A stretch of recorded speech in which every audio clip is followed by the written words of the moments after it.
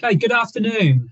Uh, we're going to be looking at a little bit of breaking the apprenticeship myths this afternoon. Uh, and I've been chosen to do this one and thinking about it, I'm probably quite a good one to do this because before I actually came into anything to do with apprenticeships, I had very little idea about them at all. So we'll talk a little bit about that uh, and just some of the common misconceptions that people do have surrounding apprenticeships.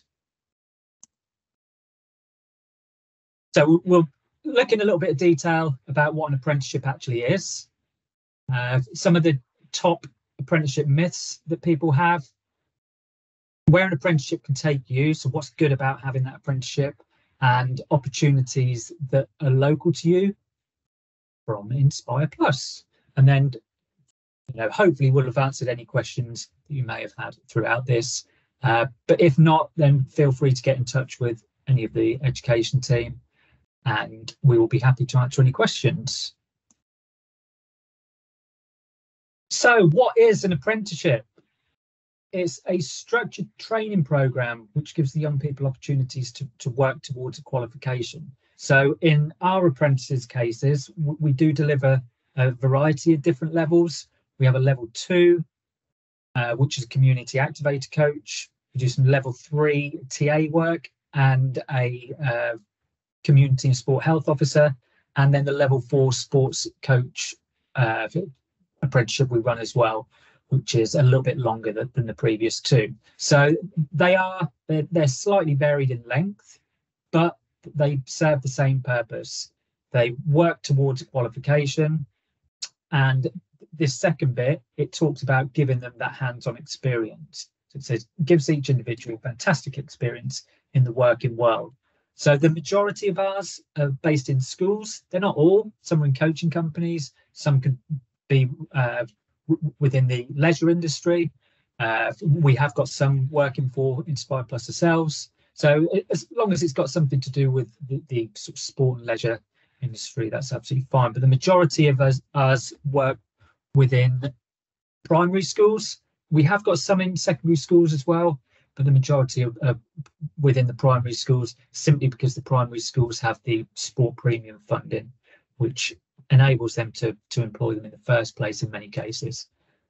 Uh, it and it's all about that that hands-on experience you know we've got people going in they work four days a week within their workplace and then we deliver the course side of it one day a week so the majority of their working week is spent within in most cases their schools which does really throw them into everything. It exposes them to everything that happens within a school and gives them some really good hands-on training throughout their working week. Uh, and f- for the majority of uh, apprentices that's the thing that they love you know going in and experiencing that that work firsthand. And the nice thing about apprenticeships as well obviously it does come with a salary. So that they're getting paid while they're working. Nice phrase that is used is, is they earn while they learn. So th- there's no training costs for, for the student that's all covered but they do get paid that salary. It's not going to make them millionaires overnight right? But but for a lot of them that have come straight out of school or never worked before, that first pay packet is, is quite considerable in some cases for them. Uh, so yeah, they, they get paid and uh, they get that qualification at the end of the course as well.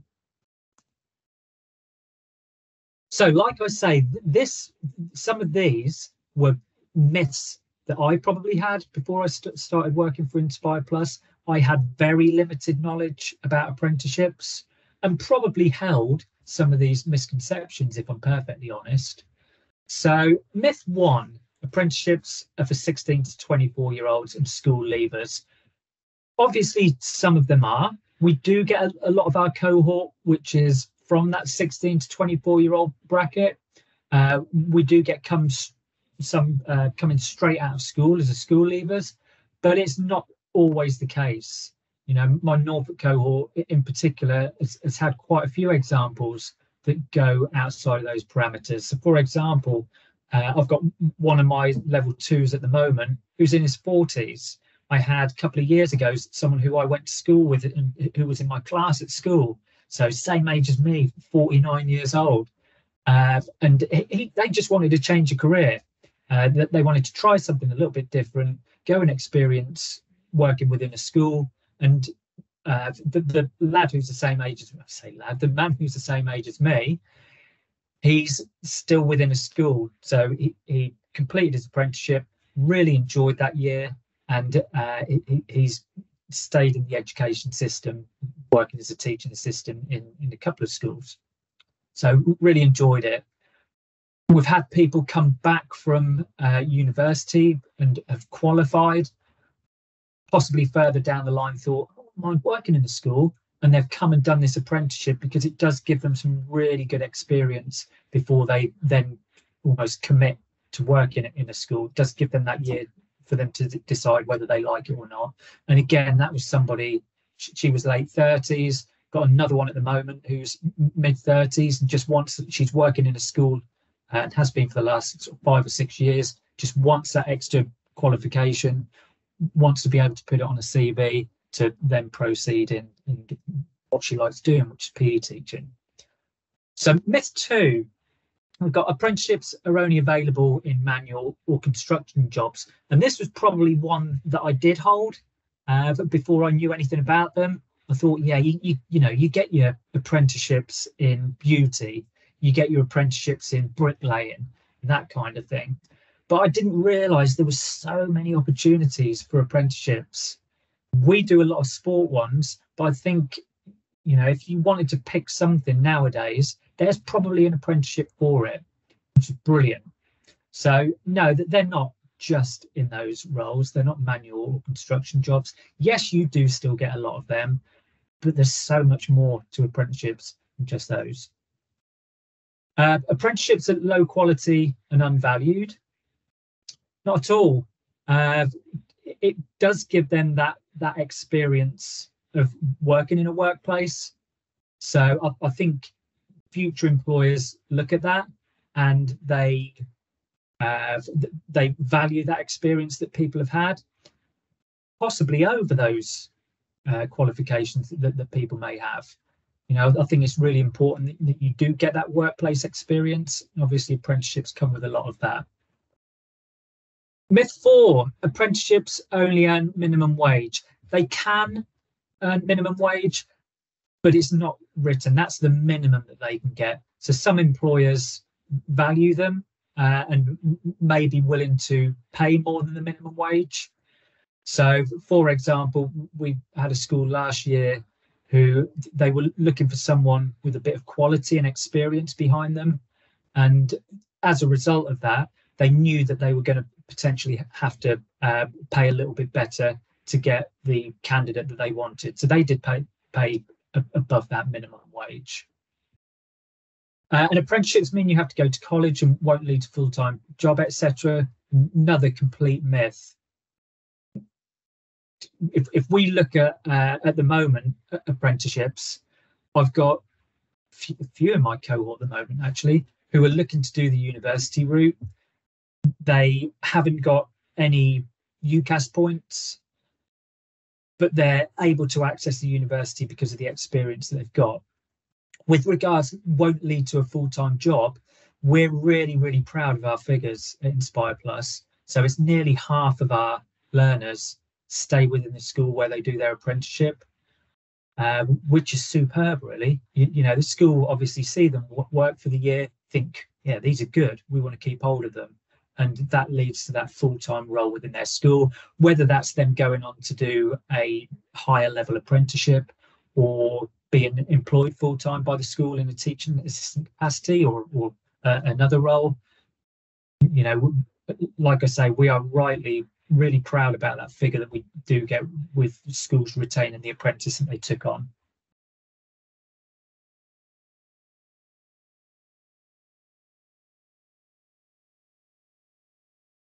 So we got some famous apprentices here, and looking at these, I thought, I thought, really, all of these apprentices?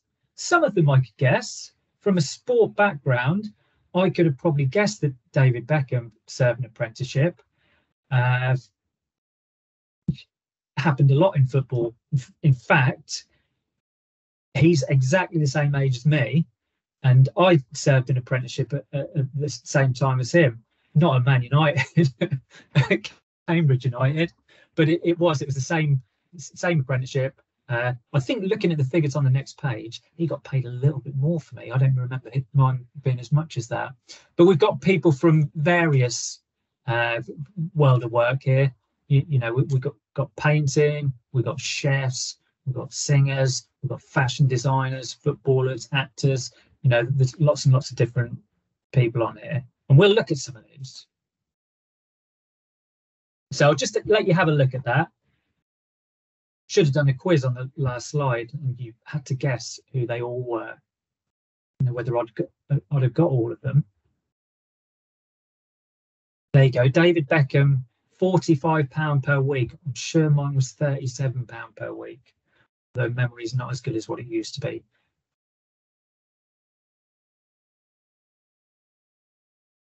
So yeah, even Elvis Presley learning to become an electrician on an apprenticeship. There you go. Every day is a school day. I never knew that before this.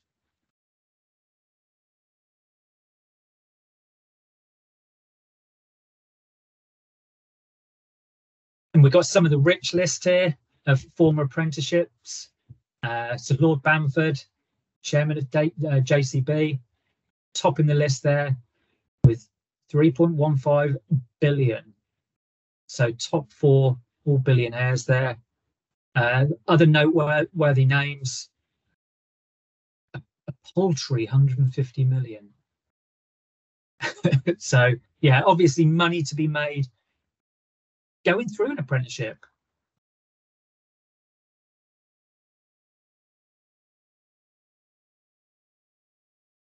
So we said earlier, nice phrase for uh, the apprentices to remem remember is you earn while you learn.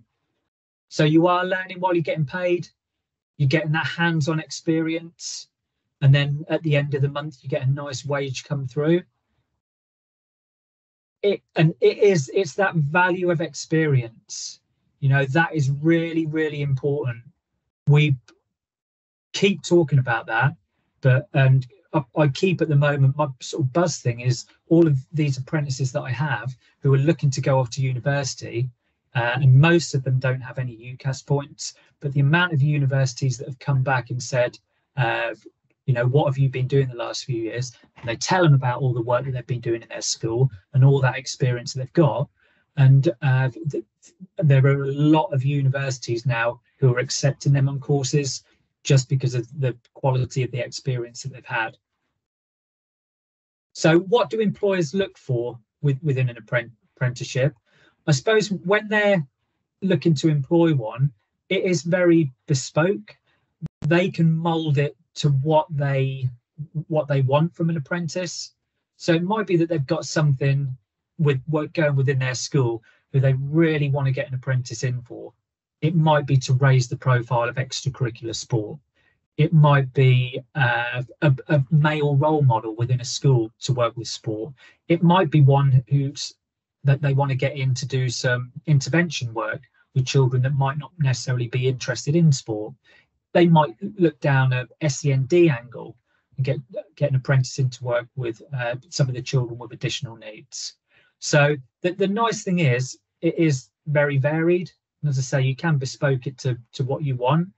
But if I was an employer and I'm looking for an apprentice, I'm looking for somebody who is enthusiastic, who's willing to learn, and who's hardworking.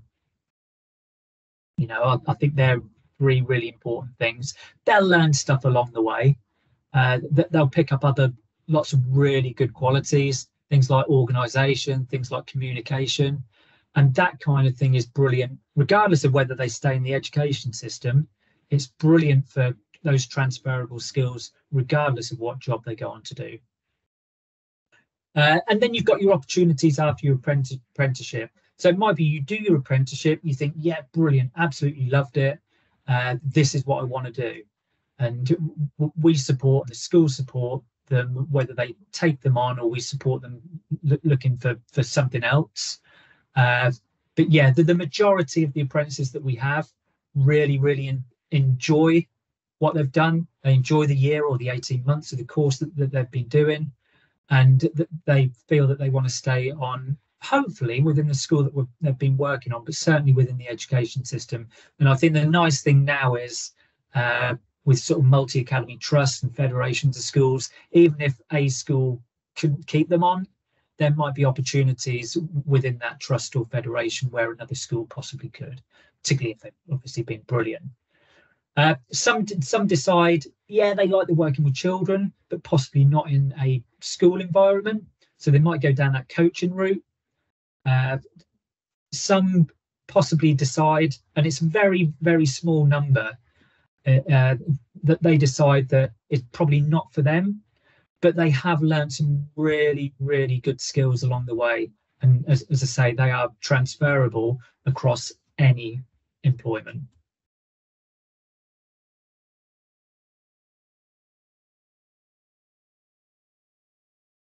So a little bit of a comparison between the apprenticeship and the higher education route. So 10 out of 10 people who complete an apprenticeship guarantee themselves employment. it's not always the case of higher education. Uh, just because you're going off and, and getting a qualification and possibly a very good qualification, it doesn't necessarily guarantee you a job at the end of it. Uh, debt's always a big one you know, when I was at university, the, the debts weren't anywhere near, obviously, what they are now, but it's it's gone up massively. You know, people are going to be paying those debts off for the rest of their life. So th- that's one thing to to weigh up. I'm not saying don't go off to higher education because you're going to get in debt. Giving you some of the options. So you do earn while you learn uh, for the apprenticeship. Whereas on the other side, we've got the higher education. One in five end up in low or medium skilled jobs. So you go off and you do your higher education. You might go off to university. You might then not do what you wanted to do with that university degree and end up in a in a low or medium skilled job anyway. 71% stay with their employer. That is staggering. Uh, but brilliant. You know, that's showing the, the power of the apprenticeships and the fact that people have obviously done well within their apprenticeship that the employer thinks yeah this person's really good we want to keep hold of them. Qualifications aren't always included uh, in in other jobs. You, you might get some bolt-ons you might get some workplaces that you know add extra things but it's not always the case. We do within inspire plus there are some little bolt-ons that we can add on to give students some extra qualifications. We do a few different qualifications that do give them some UCAS points if they did need them. Uh, and uh, talking about apprenticeships which are in demand as well, something like en engineering, given is the example here, uh, it's the most in demand role for companies looking to hire. And apprenticeships are really, really good at doing this particularly you, you know females in engineering has always been been quite a low number. Uh, apprenticeships are one way that we can improve improve that and increase the number of uh, female engineers coming through.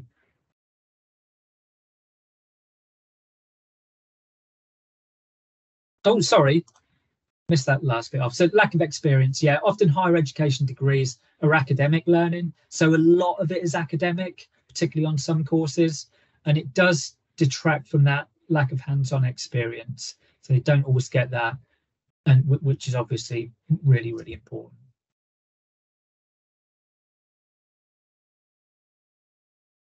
So yeah, we've just been through some of the uh, differences between the apprenticeships and the higher education. It's up to you to weigh it up. You know, I'm, just because I run apprenticeships, I'm not going to be saying don't go off and do higher education because we we you know we're very good at speaking to our learners and putting them on the right path to be honest. And it says here way into university a levels aren't the only way things are changing. Uh, keep using those examples of universities taking people on who haven't got the ucas points and some of our you know some people a levels are really tough and it's probably not the right thing for them to be doing. Whereas these apprenticeships, they revel in, they're absolutely superb in them. So we now come on to a few of the apprenticeships that we do run. So the, the first one is a level two, and it's called a community activator coach apprenticeship.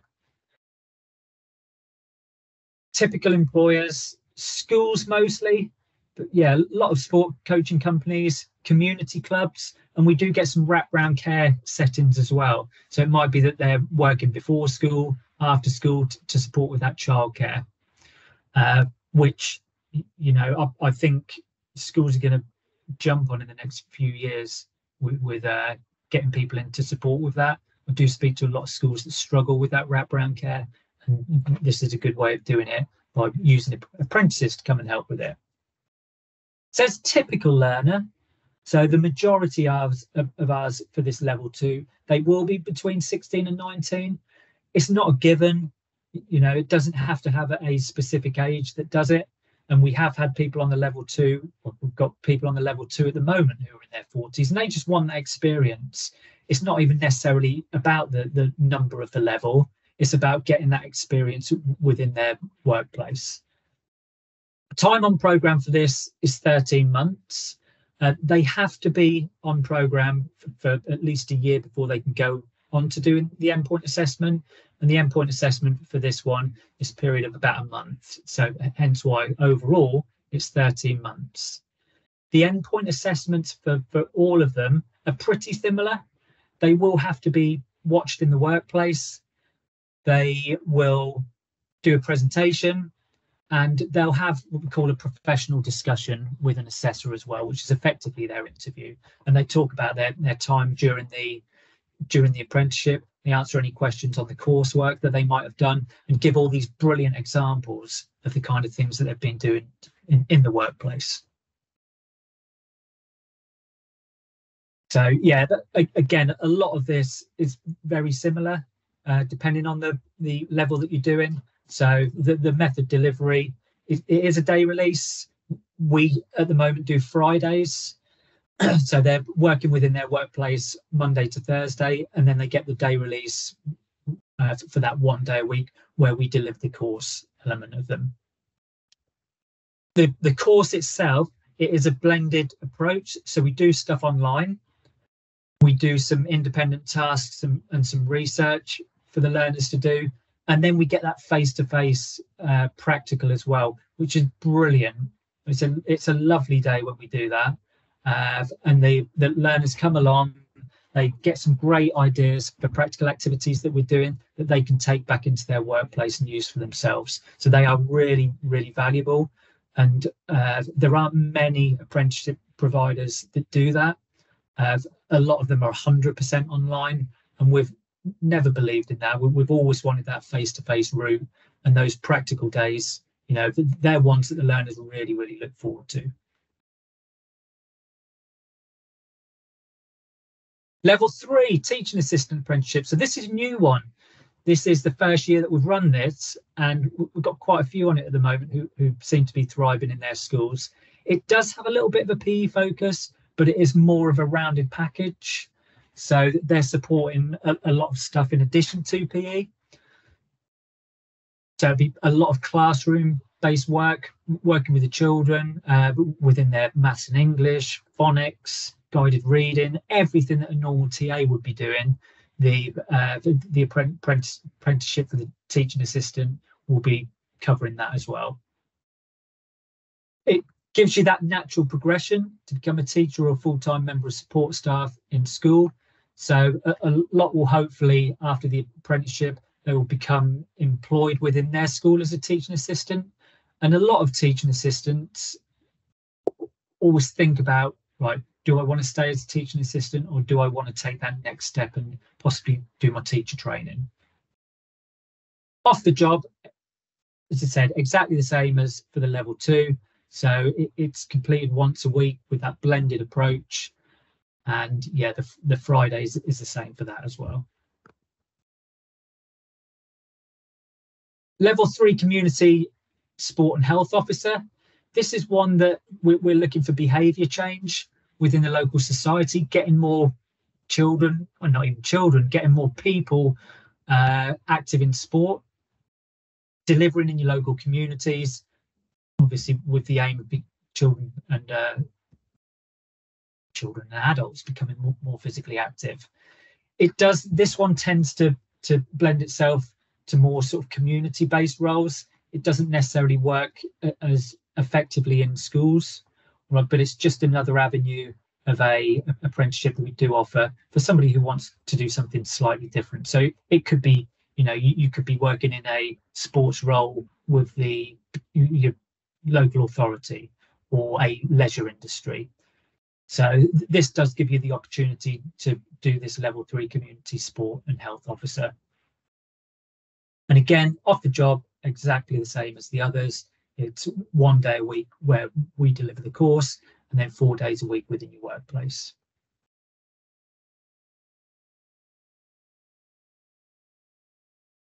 And then finally, the level four sports coach. So this is the, the longest one. It's an 18 to 20 month program. We tend to put ours on for, for 18 months with their employers, or certainly suggest to the employers to do that. Uh, you do for this one, you, you need some prior experience of, of, working with children and young people, dealing within a sporting background, and you do need your maths and English level two to do this one. The, the reason that the uh, the time frame is longer is a the, the probably a, a, little bit more intense, but also the endpoint assessment is quite a long one for this one. So as, as well as having your observation and your presentation and your interview like you do with the others, you also have the the 4,500 piece work project. So that's factored into about a three month period at the end of your uh, apprenticeship and that gives you the time to write that project hence why it's 18 to 20 months that we suggest. And it, this is all about working and collaborating with with teachers to develop pupils mastery of those psychomotor skills. So we're, we're trying to get more more children i suppose uh, pe literate uh, encouraging more active children. But again we, we're looking at that bread and butter of supporting the pe within your, your school framework and also adding value with things like extracurricular clubs and lunchtime clubs and active playgrounds and break times.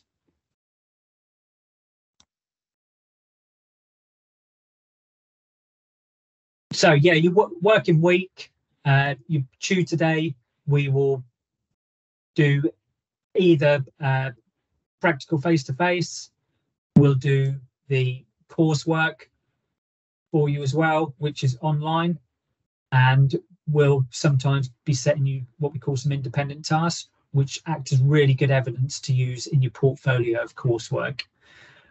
Uh, it might be that if you're require your functional skills in English and maths, then we do that as well. The college are really supportive of, of this, and we want you to be able to leave with your English and maths. You know, regardless of what you go on to do, that's a, a really useful thing to have your work placement days, the, these four days, you'll be working at a primary or secondary school or coaching company for those four days. So your school, in most cases, will give you a timetable so that you know when when you're doing things. You'll have a mentor which is allocated to you w- within that workplace, and they'll have weekly meetings, particularly to begin with when you're finding your feet There'll be quite formal meetings, just setting targets and making sure that everything's all right. And they support your development uh, by ensuring that you have appropriate workload and a range of opportunities. So all of these continued professional uh, development opportunities that school offer to staff, hopefully you'll be able to access some of them as well. Uh, and, w- and we want you to leave your workplace with a stack load of certificates and experience that you can put on a CV uh, you know, when you're applying for, for another job. If you do apply for another job, stay within your school.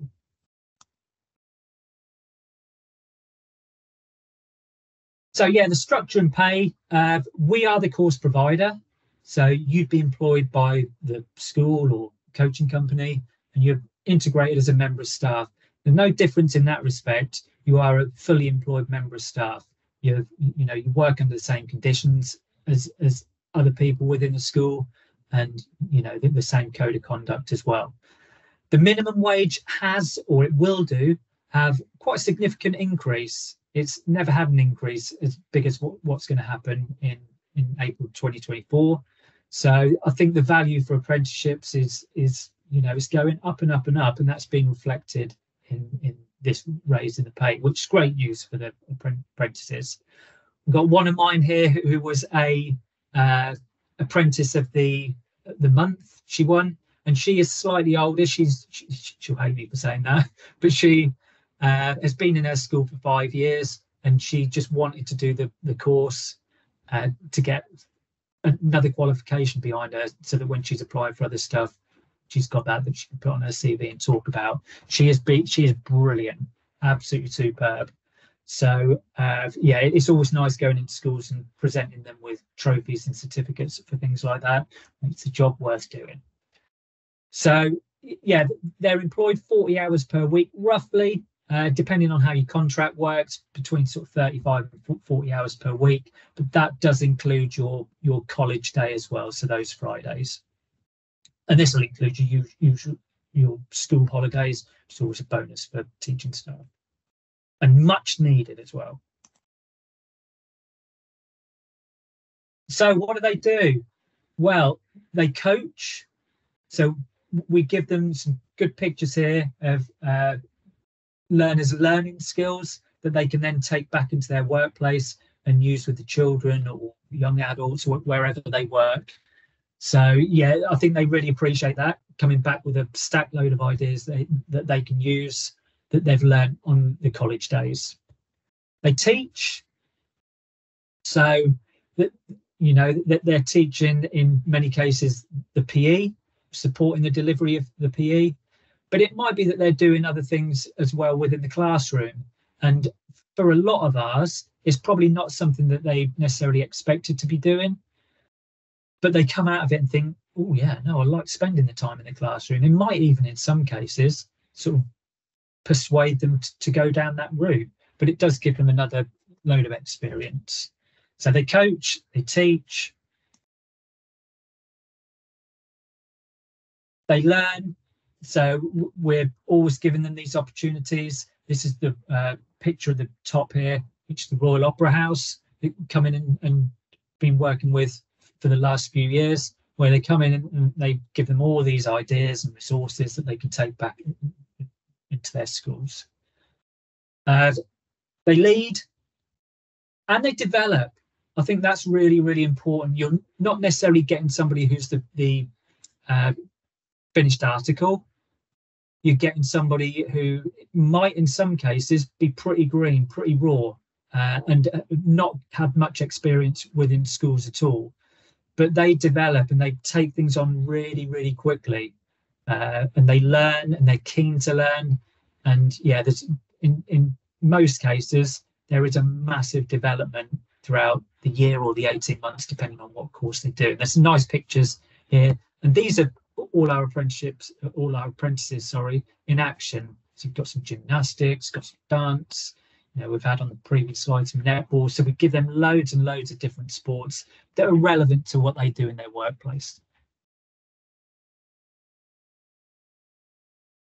Some nice pictures here of the learning in action. So we are creating hopefully active people, okay, healthy, happy, active people. And hopefully that has answered any questions that you may have. If you want to know more, here's a QR code which will take you to our website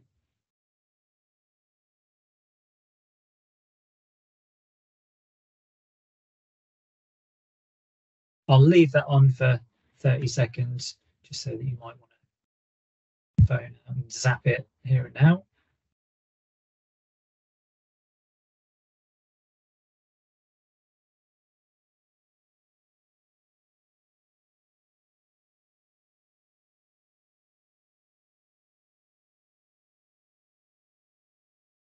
Okay, and if you did want to get in touch, there's some email addresses